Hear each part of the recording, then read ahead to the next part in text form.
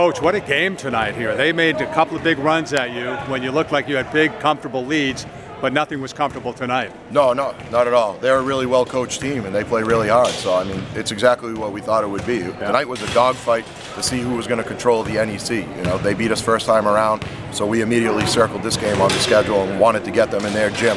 Um, I thought both teams played really, really well and played really, really hard. And that was a fun, just high school basketball game.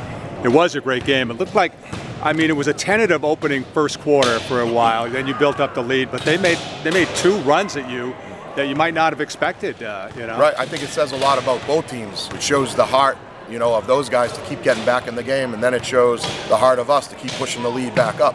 You know, and that's basketball is a game of runs. You know, so we didn't think you were just going to run away with it. They're too well coached and they play too hard and they have too many good players.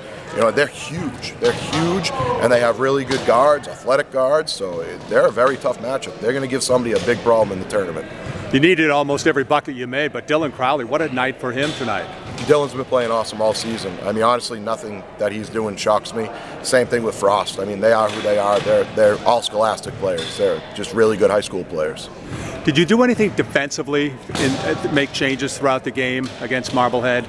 Uh, not so much. I mean, we really stayed in our man-to-man -man the whole night, and then if anything, it was just more moving trying to find the right defensive player for the right offensive player, that type of thing. But our strategy stayed the same. You know, they're really big, so they're not easy to guard because you got to stay on their guards on the perimeter, and they rebound the heck out of the ball. They crushed us on the offensive boards. You know, th there was a real battle at both ends underneath for sure, for sure, for sure. tonight. Yeah. I mean, we're definitely undersized when it comes to those guys, but we played really hard. Um, but they're just at some points they're just too big, you know, and that's part of basketball. So. Anything else about tonight's game, Coach? No, I'm just ecstatic for these guys to be able to get this win, you know, and now we control the NEC, which is nice because uh, we're in, you know, first place now alone with the one lone loss to Marblehead, and now we have the head, the tiebreaker. Um, if we go forward, hopefully with our conference record, you know, we'll have more conference wins because they have two losses. So hopefully uh, we can continue playing well and win another conference championship.